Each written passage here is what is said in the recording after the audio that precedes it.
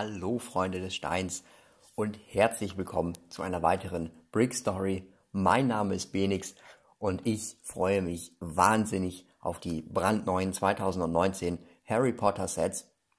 Ich finde die einfach nur genial. Ich finde das Preis-Leistungs-Verhältnis super. Ich finde die Minifiguren super und es wird wahrscheinlich wieder darauf hinauslaufen, dass ich mir alle direkt zum Anfang hole. Aber das wollen wir jetzt mal hier außer Acht lassen es ist so, dass eigentlich fast jedes dieser neuen Sets ein Remake von einem alten ist. Und deshalb dachte ich mir, warum vergleichen wir nicht einfach mal die alten Sets mit den neuen Sets? Los geht's direkt mit Hagrids Hütte. Da haben wir das Set mit äh, 496 Steinen mit sechs Minifiguren. Bin ich sehr mit zufrieden. Auch eine schöne neue Seidenschnabel-Minifigur. Die erste Version von Cornelius Fudge und Walden McNair. Und diese Hagrids Hütte ist von hinten offen, das heißt, man kann damit spielen. Aber das war nicht immer so. Es gab zum ersten Harry Potter oder zweiten Harry, ich glaube zweiten Harry Potter Film ist die damals erschienen, die 4707 Hagrids Hütte. Das war so, dass diese Hütte ein, so eine Art Plastikdach hatte, das kann man sich so ähnlich wie die heutigen Segel vorstellen oder Flügel von irgendwelchen Drachen. Und diese Hütte war dann mit solchen Gelenken aufmachbar und dann konnte man die aufklappen. Leider gab es damals noch nicht solche High-End-Set-Bilder, deswegen haben wir hier nur dieses relativ kleine Bild und da konnte man dann halt drin spielen. Hier war noch eine äh, Dumbledore-Minifigur mit dabei und Hagrid. Damals hatten die Figuren auch noch gelbe Gesichter. Ein ziemlich interessantes Set, wie ich finde. Und da gab es dann auch im Jahr 2004 ein Remake zum Harry Potter und der Gefangene von Azkaban Set. Und da war Hermine mit dabei und Hagrid. Diesmal, das war auch das erste Jahr mit hautfarbenen Gesichtern bei den Minifiguren. Ein, auch wieder ein cooles Set, muss ich sagen. Hermine hatte hier sogar den Zeitumkehrer um den Hals. Und diese Bauweise von der Hütte, die wir hier sehen, die ist sehr ähnlich zu dem Set, was wir dann in 2010 bekommen haben. Das war dann zu den Heiligtümern, den Heiligtümern des Todes das Set. Da ist die Bauweise relativ gleich. Das ist damals für 50 Euro erschienen und da waren dann Harry, Ron und Hermine und Hagrid dabei, sowie außerdem noch die Spinne Aragog. Ähm, die ist ziemlich wackelig. Also ich habe das Set selber, ich habe von den 2010 Sets alle selber gebaut und ähm, die Spinne ist sehr wackelig auf den Beinen mit diesen Säbeln. Aber die Hütte ist ziemlich cool, die kann man auch aufklappen und da ist sogar ein Leuchtstein mit dabei. Und was soll ich sagen? Ehrlich gesagt, die neueste Hütte gefällt mir hier am besten, die ist am detailliertesten. Leider kann man sie nicht schließen, sie ist von hinten offen, aber was soll's? Eigentlich ist es ja sogar so, dass Hagrids Hütte wirklich in so zwei kleinere Hütten aufgeteilt ist. Von daher finde ich die neueste Hütte am akkuratesten zum Film und mir gefallen auch die Minifiguren am besten und dieser kleine Kürbisgarten, der noch mit dabei ist. Dann ein Set, was es so noch überhaupt gar nicht gab, Expecto Patronum. Wow, einfach ein Killer im Preis-Leistungs-Verhältnis. 20 Euro für fünf Minifiguren, also mit dem Hirsch noch dazu. Wir haben hier zwei Dementoren dabei. Wir haben hier Sirius Black dabei, Harry Potter und seinen Hirschpatronus. Der Hirschpatronus ist brandneu, den gab es vorher noch nie. Ist auch ein komplett neues Teil. Ähm, was wir hier vergleichen können, wäre einmal die Sirius Black Minifigur. Die gab es damals in der heulenden Hütte dazu. Und damals hatten die noch ja, so, kein schönes Haarteil, muss ich sagen. Ich bin hier sehr zufrieden mit dem neuen Haarteil. Von daher geht das auf jeden Fall an die neue Minifigur. Die Dementoren gab es tatsächlich auch schon mal.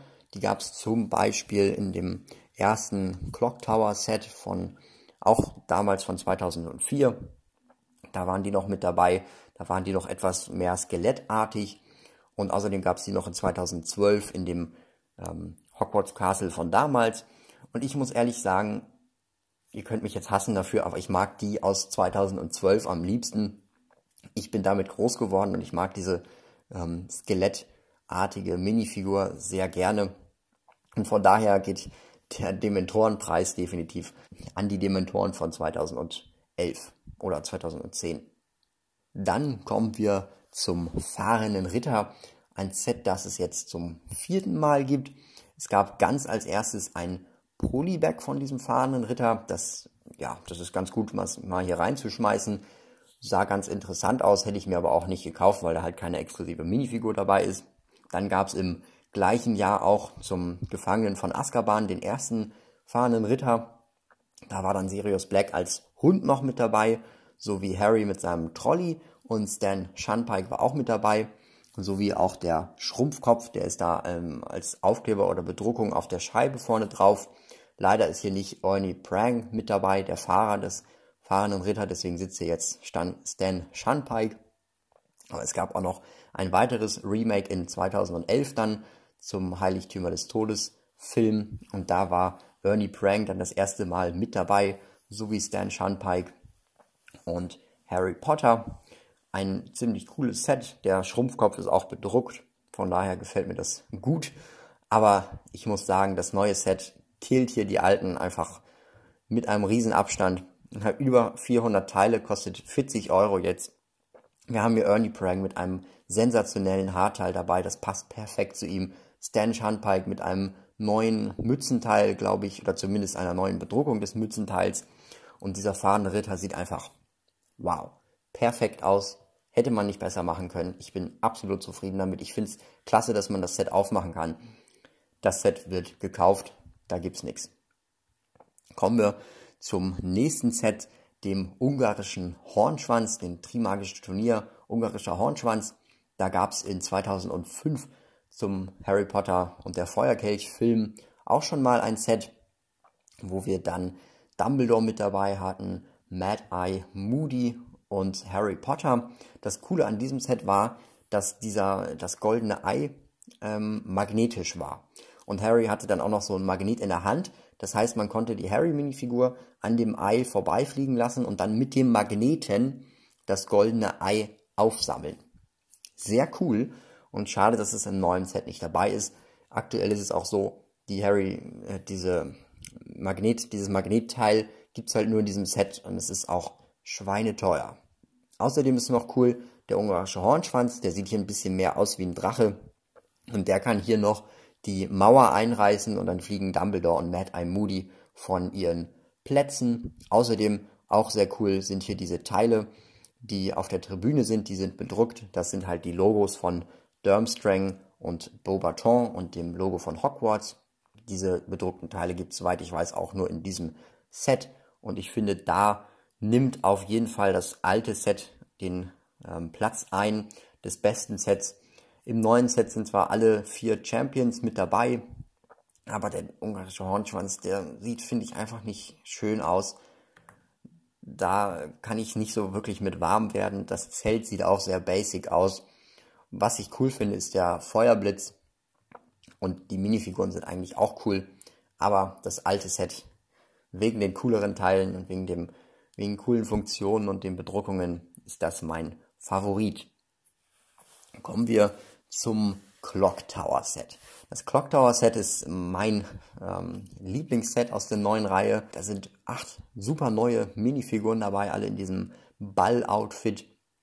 Und es gab so ein ähnliches Set, das hat, stellt zwar nicht diese Szene dar, aber es stellt den Clock Tower dar, schon mal in 2004 zum Harry Potter und der Gefangene von Azkaban Film. Und was haben wir in dem Set? Da haben wir acht Minifiguren dabei. Da ist unter anderem Professor Trelawney mit drin, da sind Dementoren noch mit drin. Das Besondere an diesem Set ist, dass dieser Clock Tower, der hat einen Motor drin. Da kann man hinten dran drehen und ähm, also das ist so ein Rückziehmotor. Und wenn man den Rückziehmotor aufdreht, dann bewegt sich dieses Pendel des Clock Towers.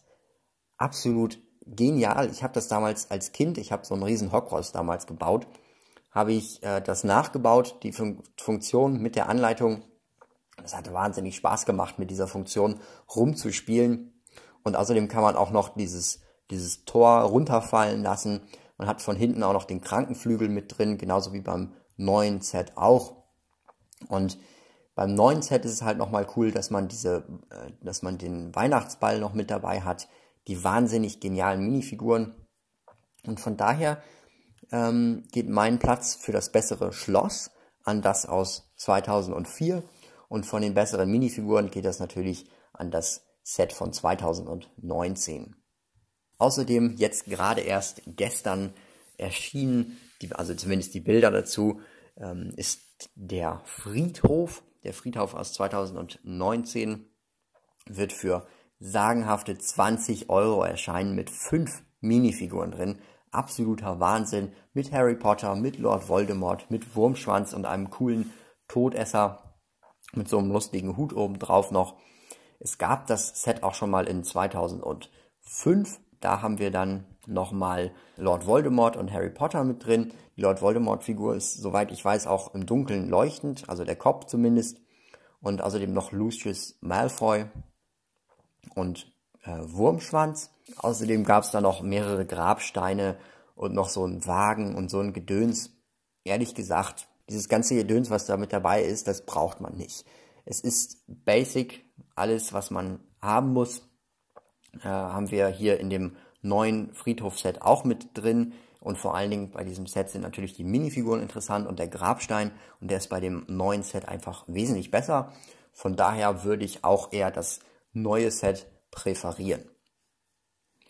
Dann Sensation ist, das, ähm, ist die Kutsche der Beaubaton. Die Kutsche der Beaubaton ist 100% neu. Das gab es noch nie als Set. Madame Maxime ist natürlich auch neu. Fleur de la Cour und ihre Schwester sind auch neu in dieser Version. Ihre Schwester ist auch 100% neu als Minifigur. Und ich finde, das Set ist einfach eine coole Idee. Man kann hier auch sehen, man kann das von innen auch noch öffnen und dann da drin Tee trinken und weiß nicht was machen. Finde ich sehr cool. Und womit man es vergle vielleicht vergleichen könnte, ist mit dem ähm, Schiff der Durmstrangs. Und das ist damals auch in 2005 zu dem ähm, Trimagischen Turnierfilm äh, und der Feuerkelch. Zum Feuerkelch ist es erschienen zu dem Film damals. Und mein Gott, sieht dieses Set hässlich aus, muss ich sagen. Also mit diesen, mit diesen 4 Plus Juniors ähm, Schiff Fertigbauteilen ist das Schiff gebaut. Und es sieht einfach so hässlich aus. Ich weiß nicht, was ich dazu sagen soll. Und von daher geht mein Platz für die Her Beherbergung der anderen ähm, Schulen beim Trimarkischen Turnier auf jeden Fall an die Kutsche der Beaubatons. Und von daher würde ich sagen, es war's schon mit den neuen Sets. Mir hat dieses Vergleich, mir hat dieses Vergleichen echt viel Spaß gemacht. Mir hat es auch Spaß gemacht, diese ganzen Daten rauszusuchen, die ihr hier jetzt gesehen habt. Und falls ich das nochmal mit den Sets aus der ersten Reihe machen soll, schreibt mir das gerne in die Kommentare. Wenn ihr keine News mehr verpassen wollt, vielleicht schon zu den nächsten Harry Potter Neuheiten, da hat man ja früh, ganz früh immer schon die ersten Namen und Gerüchte. Das teile ich euch immer euch mit euch über den WhatsApp Brickletter, den könnt ihr euch gerne holen. Alle Infos dazu in der Videobeschreibung. Und bis dahin ganz viel Spaß in der Wizarding World und ciao.